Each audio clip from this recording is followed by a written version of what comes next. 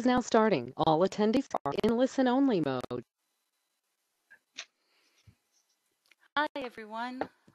This is Bobby Harris, the Executive Director of the Utility Broadband Alliance, and I appreciate you all joining us today for this webinar um, sponsored by Ericsson.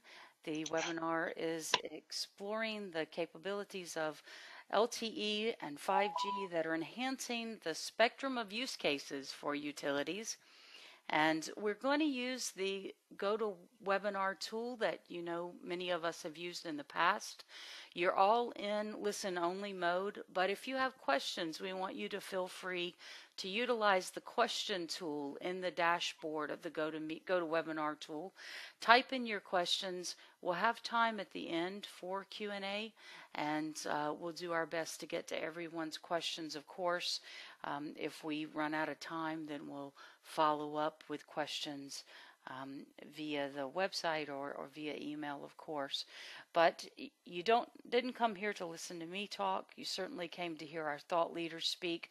I'm going to turn it over now to Gautam from Ericsson and allow him to take us through the introduction of our wonderful panelists and then get straight into this webinar for today. Gautam? Yeah, thanks, Bobby.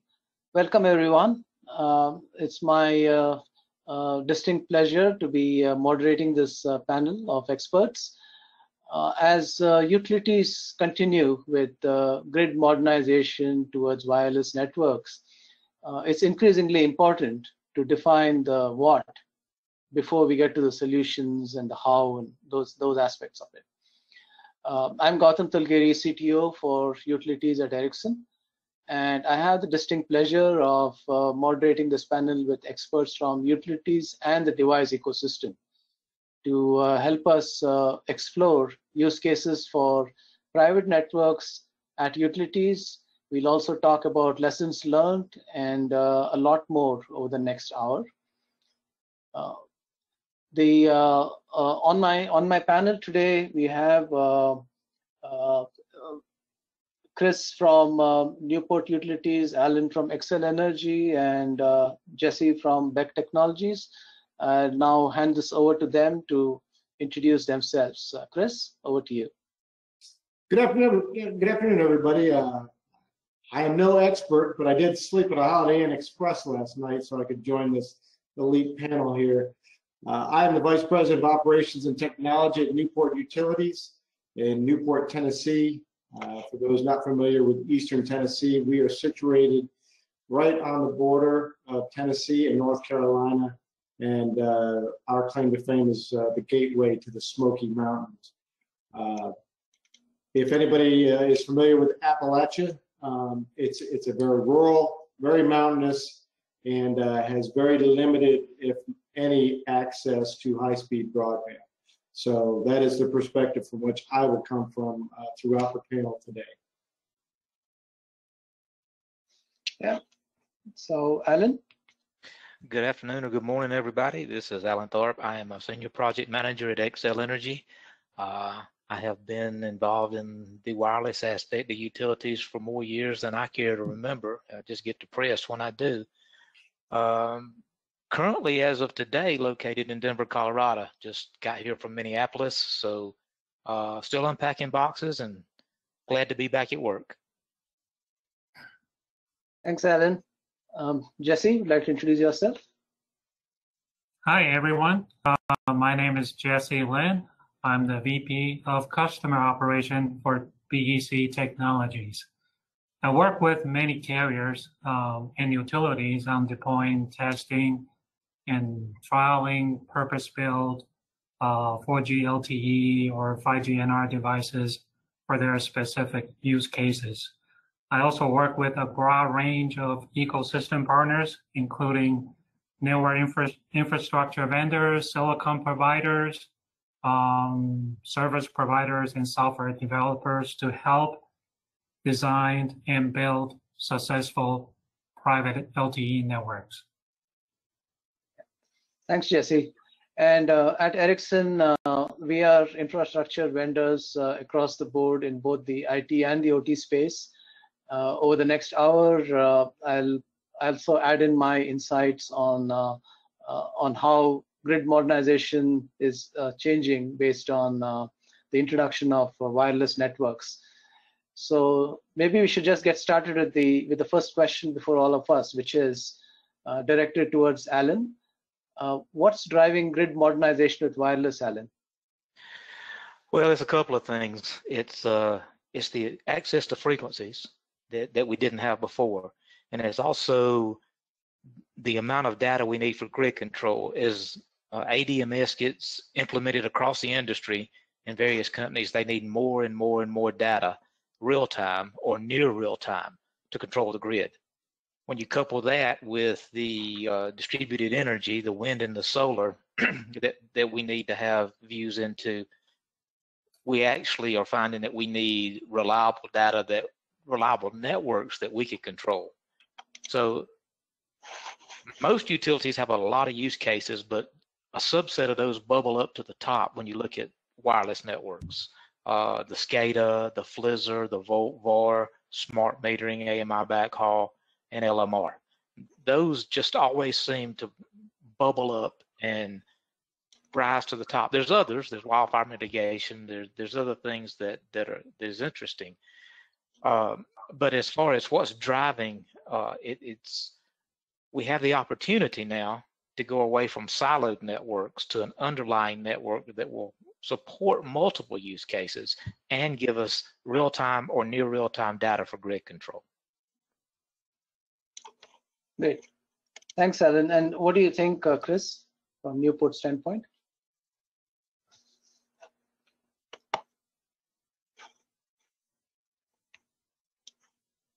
Chris? Oh, goodness. Okay. We were reminded not to, to, to unmute. Yeah, Newport Utilities, uh, our, our, primary goal was to uh, deploy fiber throughout uh, Cocke County. Um, again, uh, extremely rural, uh, very limited access to high-speed broadband. And, and we were going to use it for our SCADA and, and for AMI metering. Um, However, as we got more and more into the project and, and cost overruns with the deployment of the fiber, and we still hadn't reached half the county, um, fixed wireless access became more and more an option. Um, it was always looked at as a potentiality, uh, primarily in a bridging strategy to uh, to get us from you know phase one and two to, to wait till a little while, bridge through, and then then eventually deploy fiber throughout the rest of the country uh, county. But um, again, the fixed wireless, um, some of the incentives to do it is that uh, we're getting away from the triple play mode of internet service providers. Um, you know, if we provide the internet, the user will decide how they're going to use it. So um, no longer providing TV, if you want to, you know, up in the mountains, we don't have a lot of cell coverage. People live by their landline telephone. Um, that is their that is their lifeline out. But what we what we've been able to do is switch them to Wi-Fi calling, um, provided they've got the the internet. Um, so uh, there's things that are that are changing within the, the way people use technology that uh, drove us towards the fixed wireless access. Um, again, the, the network that we put up in our county right now is capable of carrying about 8,000 customers. I've only got 68 on there, but uh, but we're, we're, we're beginning to start to uh, bring more and more on, and uh, everybody that has been using it throughout our operational testing has been extremely pleased with with the uh, with the performance of the fixed wireless access for high-speed broadband to, to run their entire household. So um, that's what I've got. Yeah, great. And uh, from a device standpoint, uh, Jesse, uh, do you believe that both the MBB and the fixed wireless aspects are covered, or?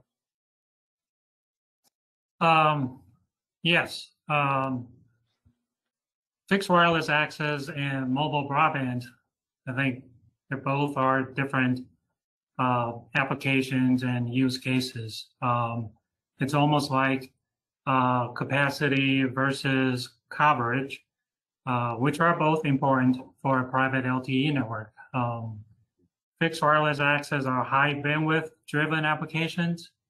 Um, some considerations are you have to have guaranteed bandwidth, uh, minimal RF fluctuations, um, sufficient bandwidth and RF resource are the key uh, for successful fixed wireless access deployment.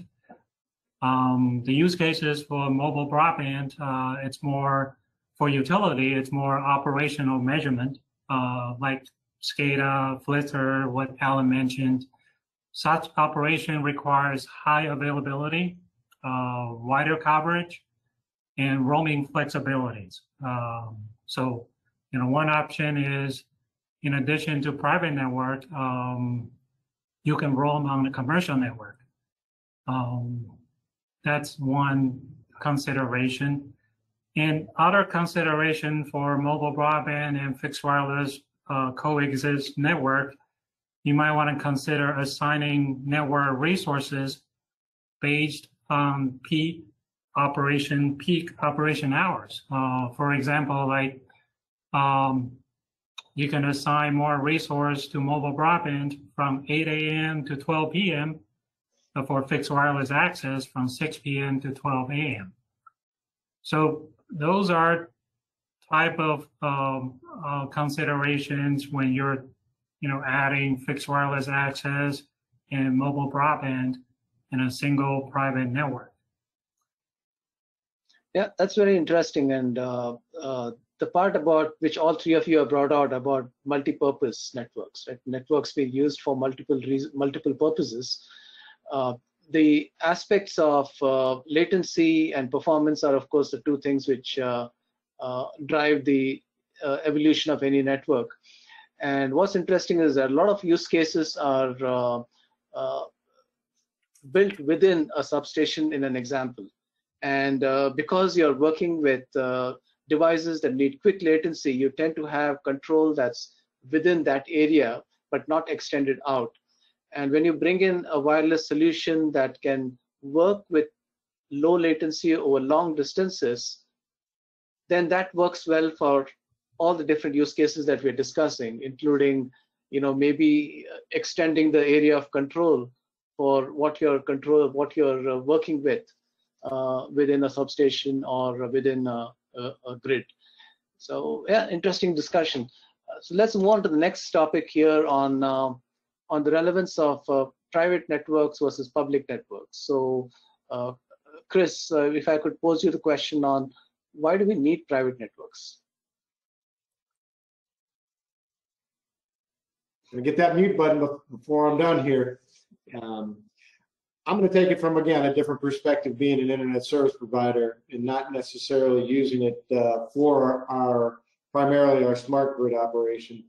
Um, we're in again a very unforgiving uh, op area in in the mountains of eastern Tennessee. Uh, it's rural. It's very mountainous. Most people don't realize that the Smoky Mountains are actually a rainforest. So being able to um, get fiber up and down the mountains and you know get the trucks up and down and out through through all the mountainous area is not easy. So again, that that led to cost overruns as far as the fiber deployment and kind of sent us in the direction of fixed wireless. And if we could optimally uh, set up where we were putting our towers, just like any cell phone network, um, you could capture a much greater population much quicker and actually cheaper. Um, again, there are problems having shadows uh, in some of the hollers, is, is, what they call them here, in some of the ravines. Um, but it is possible to bounce it with, with microwave bounce. We've actually uh, tested that and got very, very, very good results with that. Uh, so for about a hundred dollars, customers can actually buy their own microwave equipment and bounce it off of, of, different places to get it down into areas that are shadowed from our from our line of sight uh, antennas. But uh, again, this was never meant to be long term. It was meant to be a bridging strategy for the deployment of the fiber. But you know, obviously, as we continue to use it, if it continues to perform and receive very high marks, um, you know, there's a chance that uh, there, there won't be a reason to put the costly fiber out that could get torn down in storms. Um, you know, again, it's it's a mountainous region with with a lot of trees, um, so uh, you know it tears apart our electric system all the time. If it's if if I don't have to put fiber out there to get torn up, you know, it's, it just makes for another another use case that we have. Thanks, Chris. And uh, Alan, what do you think about the need for private networks? Well, utilities to, to latch on to what Chris is talking about. Utilities, you know, our our only goal is to keep the power on, as far as the customer is concerned. So when we use, we can use uh, commercial wireless, and we all do use it all over and use it all the time because that's our only option. But consumer grade wireless is not suited for mission critical applications. I mean, what we do requires greater security and reliability than they provide. So what we get when we use commercial wireless is best effort. They they do best effort at restoration. Uh, we can pay a little more and get some some priority and some you know uh, some queuing relief. But if you build your own network, then you get to set those QoSs and you get to set what levels, as Jesse said, how you want to use the network and when you want to use the network. Uh, so utilities, you need utility grade communications, not commercial grade uh, communications. And that's why, you know, a lot of utilities are looking at, at, at migrating over to a private wireless network to run their uh, grid control and grid applications. Yeah, I agree, Alan. That that's a very important point. The the part that uh, where you mention on controlling the uh, the characteristics of your network, having a private network does provide the uh, utility, the operate the option to uh, set the different QoS levels which are not used in the commercial network. Uh, you're also not uh, overpowered by uh, consumers who are uh, taking capacity out of the network for something that transitionary. So it's yeah. a very steady way of working. Exactly right. If if we have our own network, we're not fighting for RF resources with Junior over here watching Netflix late at night. So exactly. Uh, so Jesse, what do you think on uh, the use for use of private networks from a device standpoint? Uh, from device standpoint, I think it's uh, the same as what the utilities been looking for.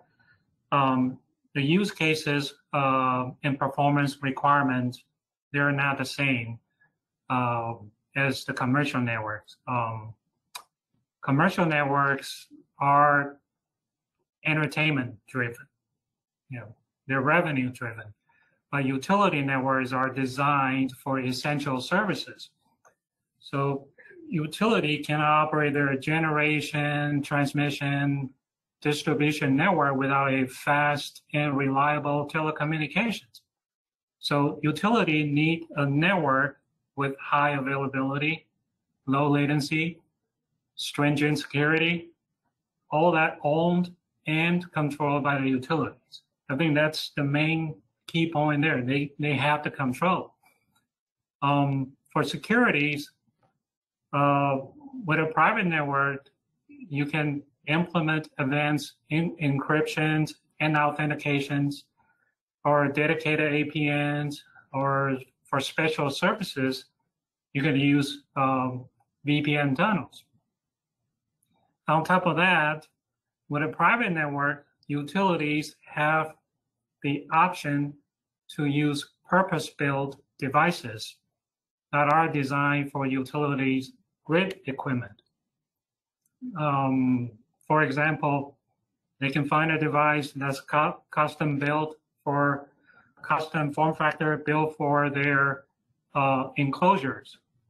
Type of antenna that can mount it on top of their uh, capacitor bank controllers or reclosers.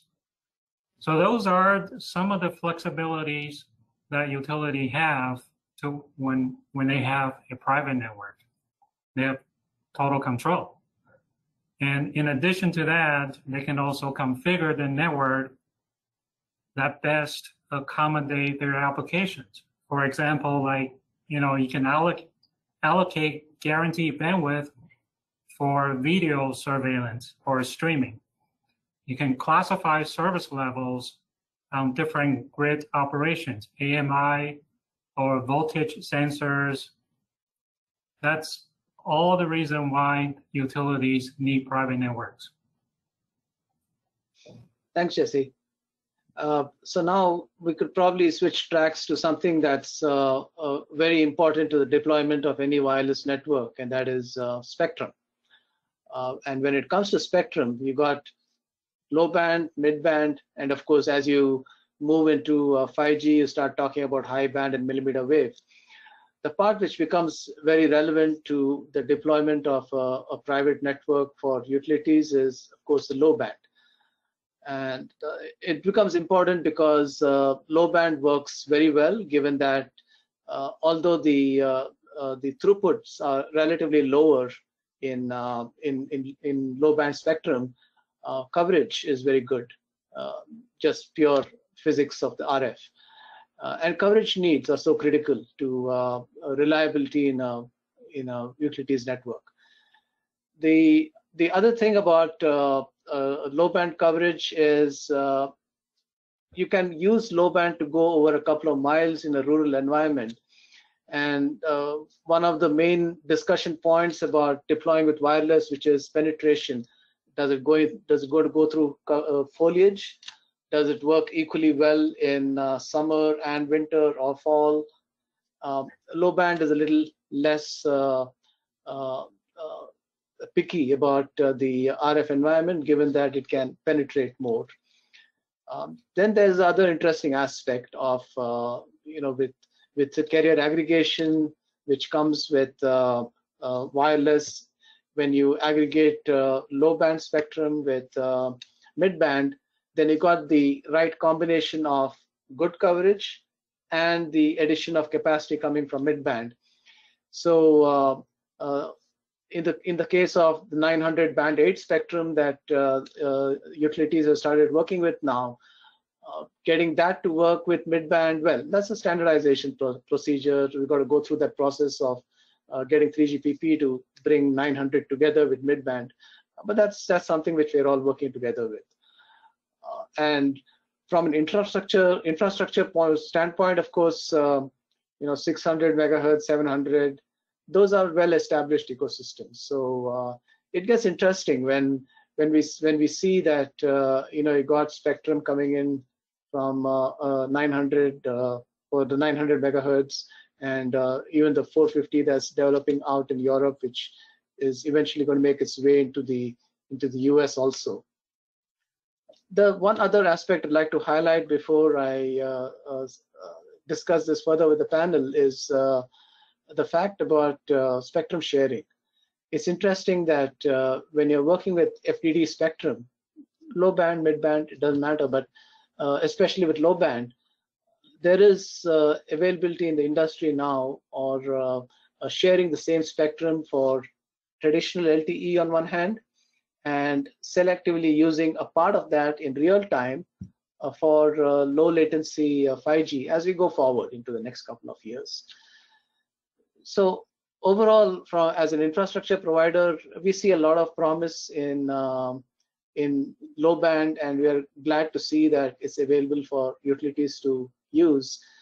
Uh, and this is something which uh, probably Alan, uh, what do you think? What are your insights on um, the use of sub one gig spectrum and low band? Well, it's uh, you know, when we look at it, and you hit on a lot of it, uh, all the utilities ha have been involved in in the WiMAX frequencies and the rules changes, and we got impacted by that.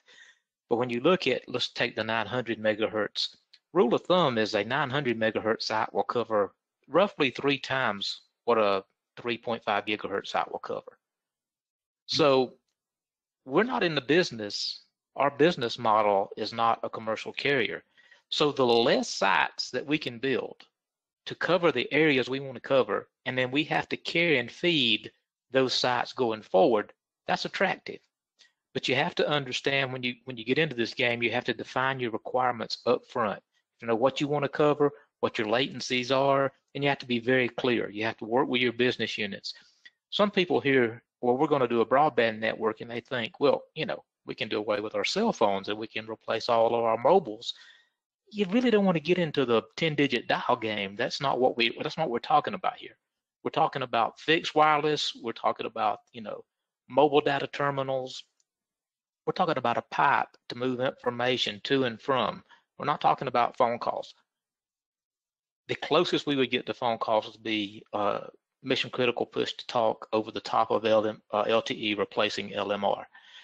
But understand what you want to do from a requirements perspective and also understand your organizational limitations. Utilities are not set up to design and build and care for this type of network. So under decide first early on what you want to do as a utility. Do you want to design it, get some help? Do you want to throw it to your NOC when you get it cut over? Do you want to acquire the skill sets in the NOC to make it work? How do you want to play this? And then set realistic time frames. This is not easy. This is this is I look at it like every site you build is a mini project. This site may work. I think Chris can can can vouch for this you may think this next site's going to be great and the tower doesn't pass structural or you've got some kind of FAA limitations or you got something that you got to move. Every site's a mini project. So if you want to build 350 sites, you got 350 mini projects. If you want to build 200 sites, you got 200 mini projects. So be very careful and set realistic time frames. Leverage your existing infrastructure to the fullest possible extent to drive the cost lower.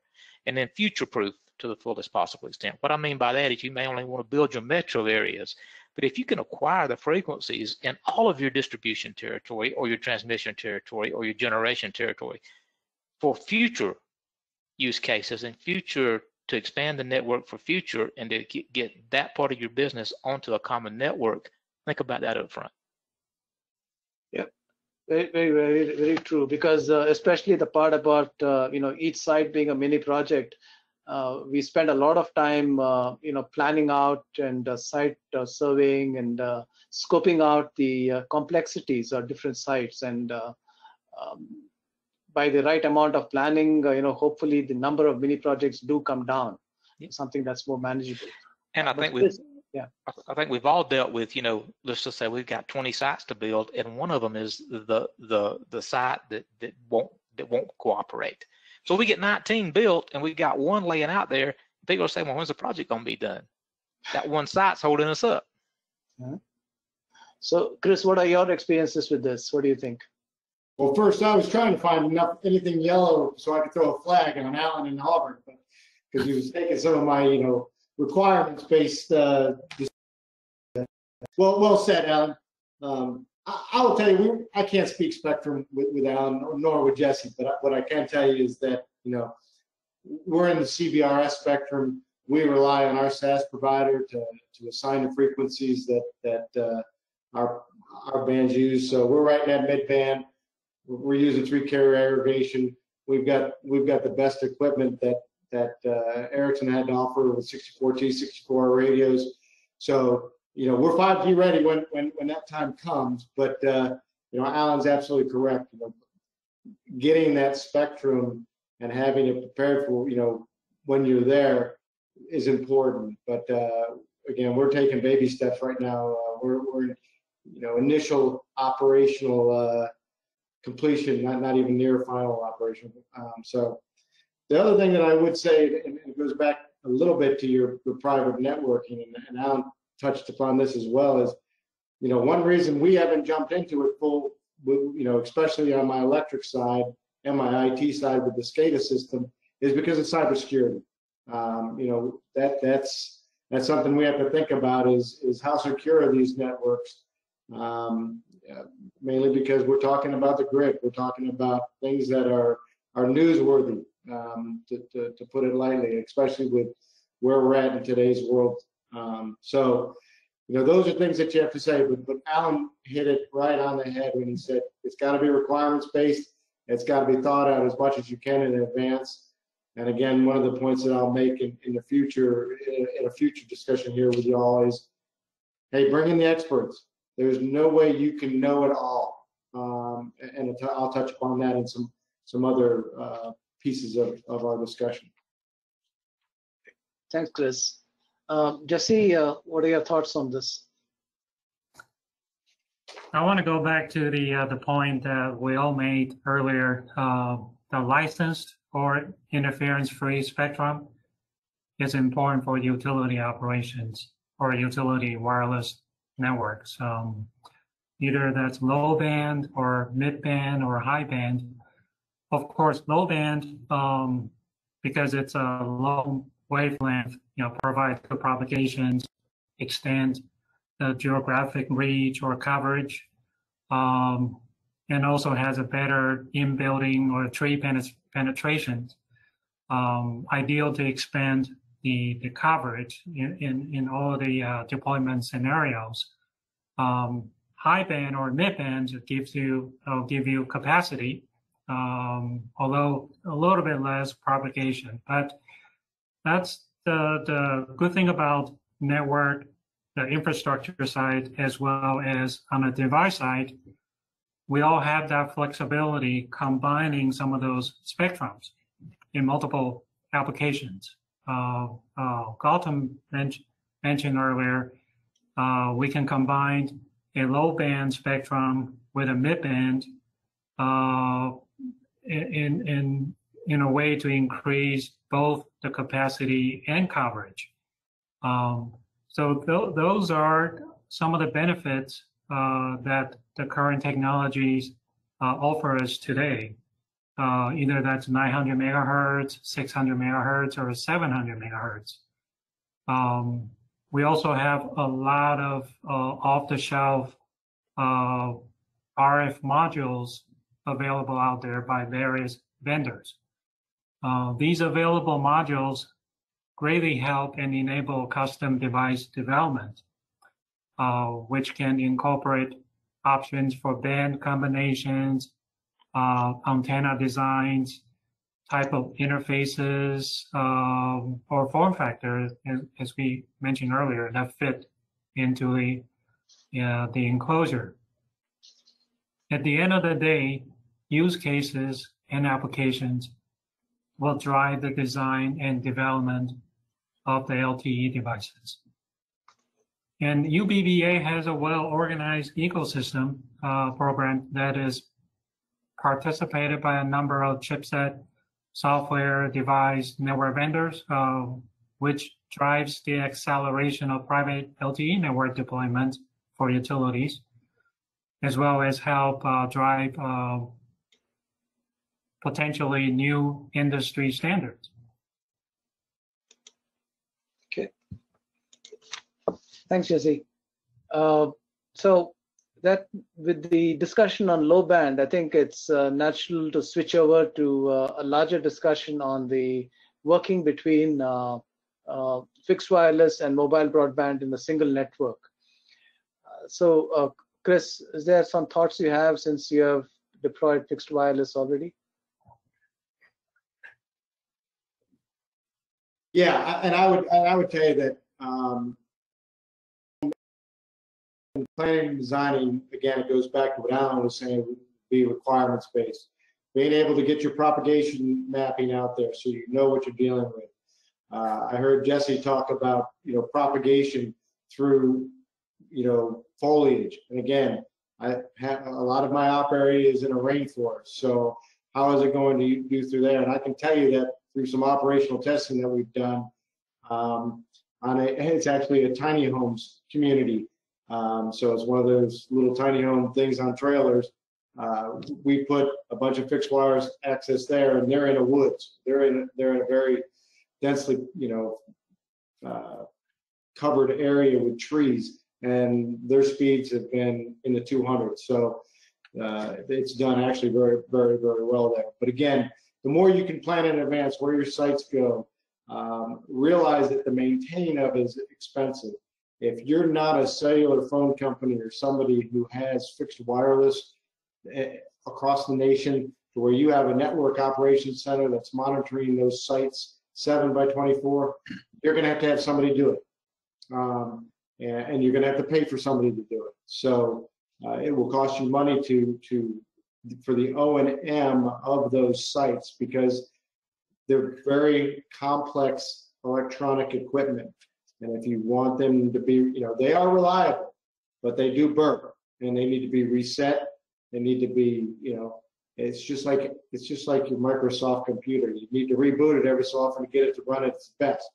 Um, sorry if there's anybody from Microsoft on there, uh, but but you know that that's what that maintenance is for, and and you bring the pros in to do that. No, I'm a hundred person utility company, and 65 of them are linemen. So I don't have the resources to throw at that, so I have to bring the experts in and use them. Just be aware of that. If you're going to do a fixed wireless access type project in your area, um, there's a lot more of it than just throwing it up on the antenna and you know set it and forget it. It's not the way it's going to work for you. Um, and I, like I said earlier, microwave microwave hops do work. You know, you don't want to rely on those, but uh, it, you know, for instance, I don't want to have to take my fiber all the way up that mountain, but it's got a great site for me to put my my uh, my fixed wireless site.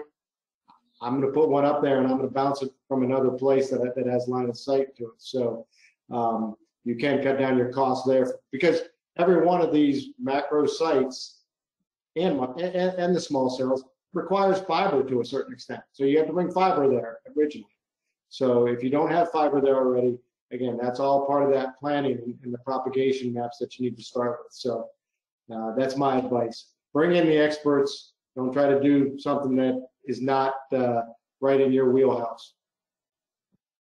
Thanks, Chris. And, and your point about uh, you know use the uh, prudent use of microwave and multi-user MIMO to uh, you know replace fiber to some extent. I think that that's a pretty viable uh, use case.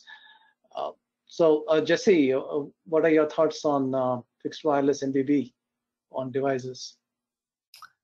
Um, on device perspective, um, because there are two different use cases. Uh, most likely, there are two different form factors, different design of antenna. For fixed wireless access, there are typically outdoor ruggedized devices um, with embedded high gain antennas, uh, directional antennas. Uh, they're typically for fixed fixed mount, for line of sight installations. Um, some of the operation considerations um, for fixed wireless device would be uh, you would need a fixed bandwidth or guaranteed bandwidth, uh, predictable RF conditions, uh, minimum fluctuations in terms of RF.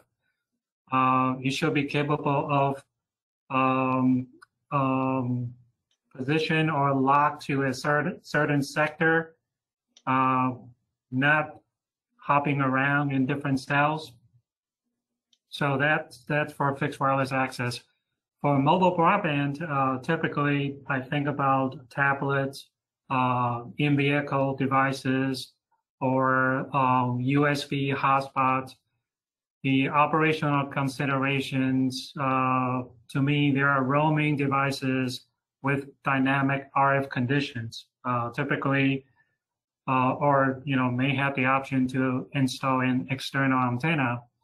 And of course, uh, when it roams, you'll require failover uh, or dual SIMs. Um, those are some of the characteristics of uh, the, the mobile broadband devices.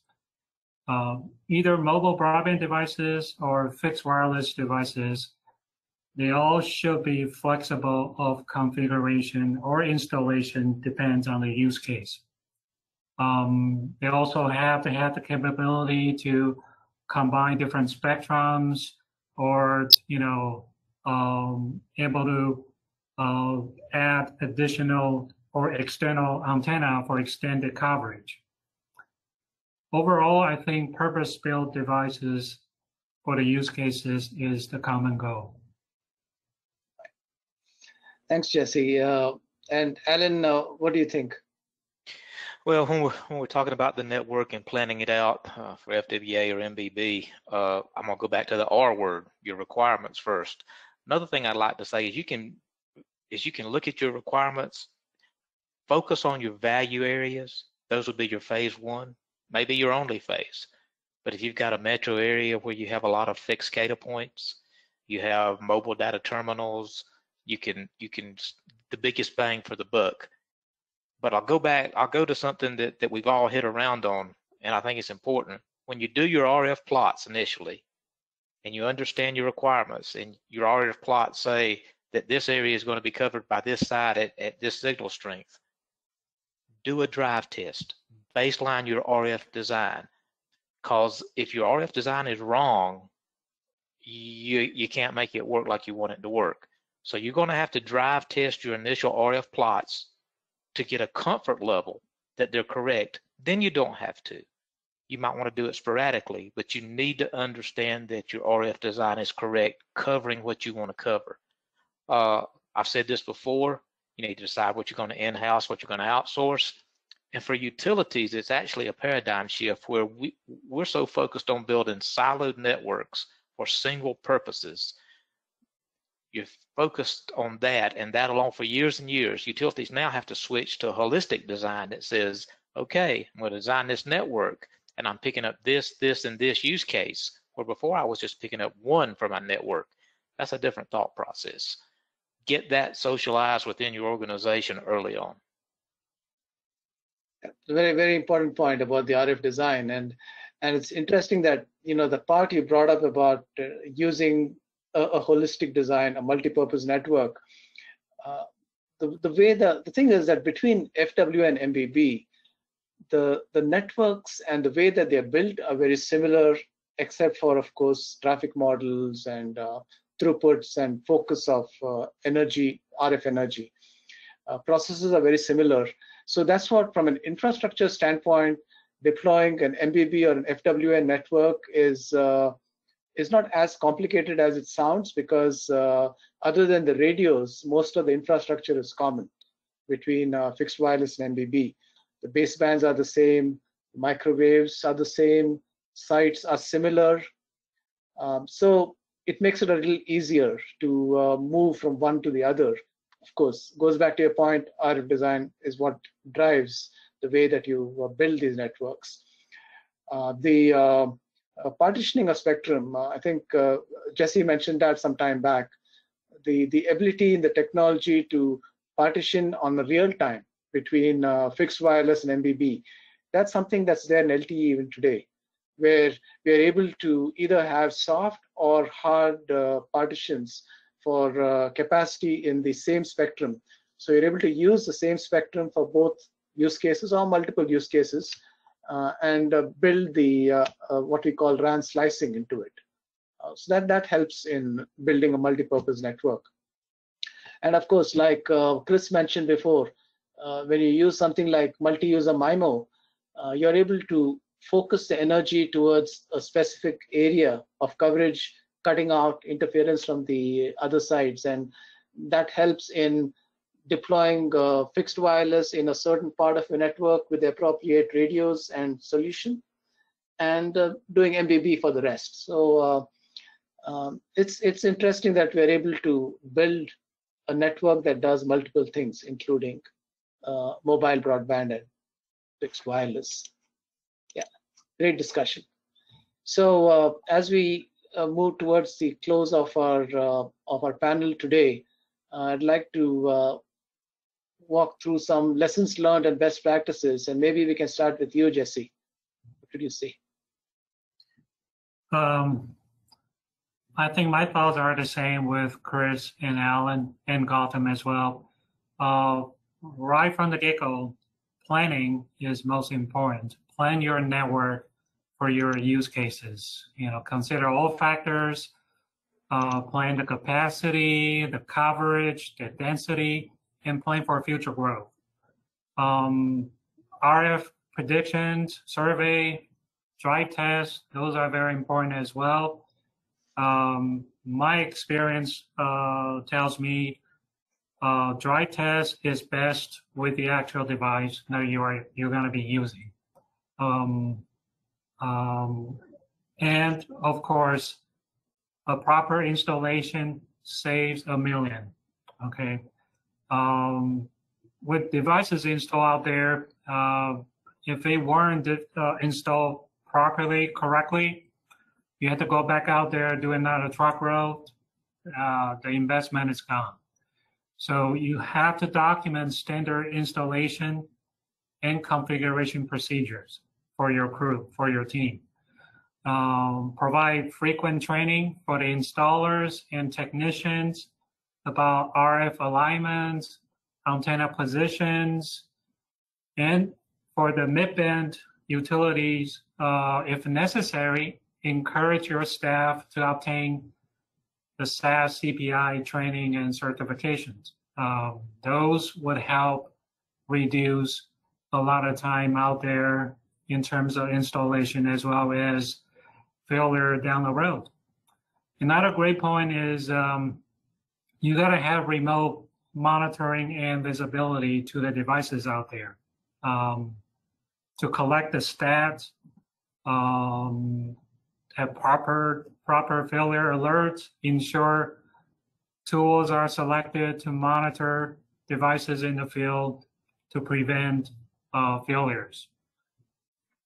Those are my thoughts. Yeah. Thanks, Jesse. And Alan, uh, what did you say are lessons learned and best practices? Uh, just understand that use cases are specific to each utility. Like Chris's use cases and our use cases are not the same. There's some elements that are the same. Even across different areas of utilities, the use cases will be, some will be more important than others. Uh, no single use case will justify the build of a private LTE network. It, you, have to stack use cases to make the business case work. You just need to understand that going in. And just just be you know open and socializing it within the utility itself as to what you're trying to do. You're trying to move away from a siloed to a holistic design and see if you can get buy-in. Thanks, Alan. Uh, so, Chris, best practices and lessons learned? Yeah, I would agree with everything that Jesse and Alan uh, have mentioned, but uh, again, my my situation is very different, as Alan pointed out. But bring the experts in early. If I could, if I tell anybody, bring those people in early when you're getting into a new world. You know, there's some areas that that that are cross-functional that you're going to have experience before, but not everything. Um, when you start to get into the regular regulatory aspects of the deployment, you know, you're going to get permits, land site acquisition, easements, FAA clearances. If your towers are tall enough, you're going to get FAA clearances. Now, I'll give you a one little uh, horror story. We had a macro site plan, 125 foot, in a spot that was going to feed northern part of my county. And uh, lo and behold, find out that there's an FAA hold on the airspace there because uh, 25 years ago, a gentleman who was a, uh, flying hobbyist wanted to build a grass airport up in that area. He uh, he's he's been deceased for a while, remarkably enough, than an airplane accident. But he he still had a hold on the FAA um, airspace up there, and his wife would not allow me to take it because she said it was his dream. So I could not build my my my tower up there. So I had to completely drop back and punt in that area of the network. So that's not something I, as a as vice president of operations and technology at, at, a small utility, would have ever thought about. But the experts did. So bring them in, take advantage of their knowledge and experience. They, they, they've probably been through it before, and they're gonna they're gonna save you a lot of heartache. And your hair won't turn this color. So, uh, but um, you know, same same thing. SAS providers, you know, some of those things, SIM cards. Those are all things that we're not used to you know, Jesse, he deals with it all the time. But, but you know, us as as the uh, end user or the internet service provider for the customers, not not our expertise, not our not in our wheelhouse. So take advantage of them. Make sure you have the right people on your team, and and you have to develop that trust because it's expensive. It's an expensive project. So you're going to be you're going to be putting a lot of faith in these people. Great. Thanks, Chris. So I think from uh, from an, from an infrastructure standpoint, I would think that some of the uh, lessons and best practices we've had from our many deployments is we got to have network solutions at scale with the use cases. So having expandability in the network is important. Uh, that allows you to start small and uh, build as needed. Uh, we got to uh, you know bring the uh, redundancy to single points of failure. That's a continuing uh, update to the network to ensure that there are no single points of failure. We're able to increase the reliability and the security. So all those are some of the the drivers here. so I think I would probably hand it back to Bobby to take audience questions now. Great. Uh, thank you all, first of all, so much. Uh, terrific, terrific session. We have just a few questions and we've got a few minutes, so I'll take them in order um, with the first one. Um, for fixed wireless access, what is the ULDL, I'm assuming that means upload download speeds, um, that are being deployed? And that's out to anyone who would like to answer that. I didn't hear the last part of that question, Bobby. Can you repeat that?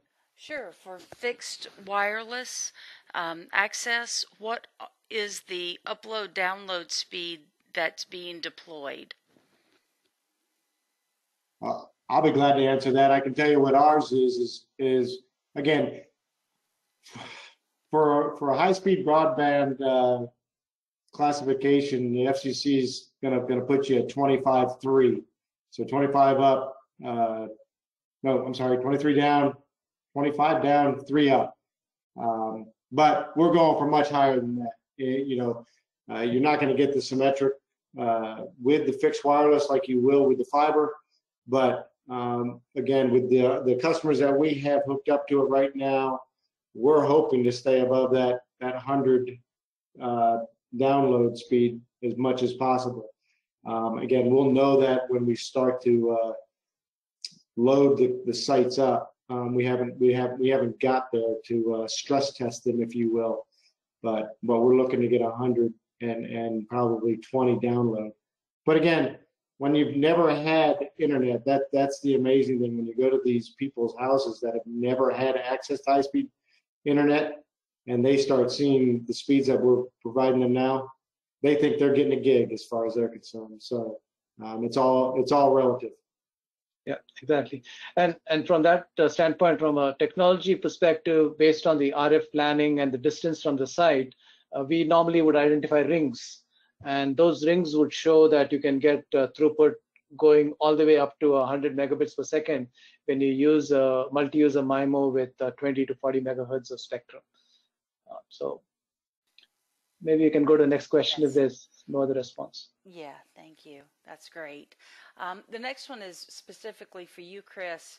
Um, the question says, when fiber cost ran high, how did you educate your management team on the stability and capacity of a fixed wireless solution? And unmute. Yeah, you're muted, uh, Chris. I, wouldn't use I wouldn't answer it the way that I'd like to, but I, I will tell you I've kissed the Blarney Stone, so I'm uh, I'm rather rather talented at, at, at baloney, we'll say.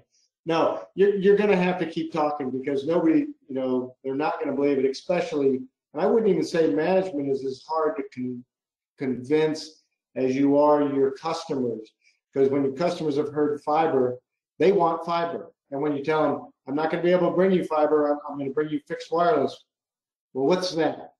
And so, you know, that, that marketing has taken some time. And again, I relied on my, my wireless experts, uh, the consultant team that, that was working with us. Um, but there was some convincing of management. And, and again, there was some convincing myself because until I saw it, I, I didn't know what to believe because I haven't dealt with it um, other than through my own cell phone like everybody else and and you know we used Jesse's product. Uh, that was the first time I'd seen it work. We were using BEC, and and I was impressed. You know, we put it up. We got these tripods and put it up like it was on the side of a house at 18 feet or so, and the the, the distance that we were able to get and the speeds we were able to get was was uh, pretty impressive. So that's where you're going to convince people is by showing them. Telling them is never really going to ever convince people showing them that it works is what convinces. them. Yeah, absolutely. Uh, another good question just came in. Um, what and, and Alan, I think you mentioned something a little bit about this, but what are the challenges of setting up a NOC for these private networks? Well, um, most of us, from the utility perspective, already have a NOC. Uh, how deep that gets into your network, what it looks at, it is different for every utility. So, but but the challenges would be whether you're setting one up or whether you have one, is to develop or acquire the skill set needed to maintain and operate a wireless network. I mean, our microwave is, for all intents, it is wireless, but it's you know point to point. So I think we had mentioned earlier that th this is this is not. Uh, I think Chris mentioned this is not set it and forget it. This requires maintenance. It requires uh, monitoring. So you have to get those skill sets in. Now, there, there's various ways to do that. You can go raid NOCs of wireless companies, but we we generally are not too successful at that. Or you can grow those skills internally. That would be probably what what would happen. Uh, I know some of the utilities that are that are looking at this are, are, are working with some of the uh, infrastructure providers, so the infrastructure providers can bring their NOC personnel up to speed and give them training that they need to monitor and maintain these networks. Great. Thanks, Alan. Um, there's another question. Um, it's, it's kind of interesting. Um, we're seeing a trend that utility companies may start providing high-speed internet for customers as a service. In regions with already well-established ISPs, what would make sense for a utility to um, set up such a service to compete with an ISP? Oh, oh, me, me, me. Hey, Chris. Uh, Don't do it. You know, you can, you can overbuild, and I will tell you that the phase one of our fiber deployment, you- we talked about cost overruns. Phase one of our fiber build out was an overbuild. So we were building when there was a competitor, very, very large competitor.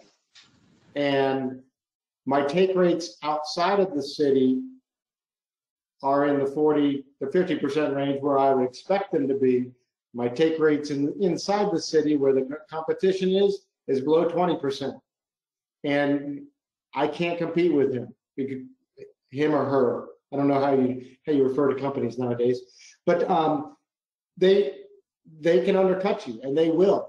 They'll do it for, you know, for three months.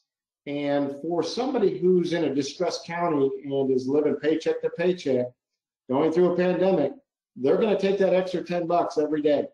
And they'll figure it out at the end of three months and they'll balk on the contract. They'll get out of it somehow. But, you know, that's the big thing with the big guys. They'll, they're going to put these the people in a contract and then sap them later. But they will they will make it very difficult on you. So doing an overbuild as a utility is is difficult even though you think that you've got the trust and respect of the community because you're there, you're part of them, you you live there with them. You know, all of the economic advantages that goes into it goes right back into the community. It, it sounds great. It looks good on paper. It's gonna it's gonna sell well on a business plan, but it's not gonna happen and it's not gonna come to fruition at the end of the day because people living paycheck to paycheck are gonna go buy the cheapest that they can get what they need. Um, and a small utility like ours can't compete with with the big guys. And that comes to grants and federal funding. I've found that because I've I've been a grant writer for the last two years, and uh, it's very difficult when you go into reverse auctions against some of these big people. I I can't compete with them, and I, it, it's it makes it very difficult. So if you don't if you don't have to compete with them, that's that's better. If you can get the internet, what we've kind of come to the the final is we just want to make sure that everyone has access to it. I don't want to provide, I don't want to be competitive in the marketplace necessarily. I want to make sure that my community has access to the internet because we feel that generation after generation is falling behind um, without it. And very soon here, you're going to find out that you can't live without it. You can't school with it, educate in school without it. You can't work without it. It's, it's just going to be a requirement. Excellent. Sorry for the long-windedness. That's okay. Um, Gautam, we're actually right at our time, but I want to give you, uh, we'll get to those other questions um, uh, at another time, but let me turn it back to you for a final wrap up. Yeah. Um, I'd like to uh, uh, thank uh, Jesse, Chris, and Alan for a very interesting uh, session today. Uh, appreciate all the all the thoughts and the discussion. I'd also like to thank UBBA for organizing this webinar for us. So with this, I think we can bring the panel to a close. Uh, any closing uh, statements, uh, Alan, Jesse, since we're out of time? Chris? Now, I just thank everybody for joining. Enjoyed the conversation. Yeah, Thank you. I always enjoy this, this group and, and for anybody out there that's thinking about doing a fixed wireless um, deployment, either for their, for their utility or as an internet service provider, get in touch with me. Please come out, see it firsthand before you, before you jump in. Um, I'd be glad to share all of my scars and uh, show you where, where the, where uh, our wins I have been as well. Excellent. Well, I just want to say that access to protective, uh, protected spectrum and advanced wireless network technology and a purpose-built device will ensure utility offers es- essential services up to government and public expectations. Thank you, everyone. Yeah. Thanks, everyone. Thanks, Bobby. My pleasure. Thank you all. I hope you have a wonderful rest of your day, and we will have this recording ready for uh, everyone to listen to on demand. Thank you. Great. Thanks. Bye.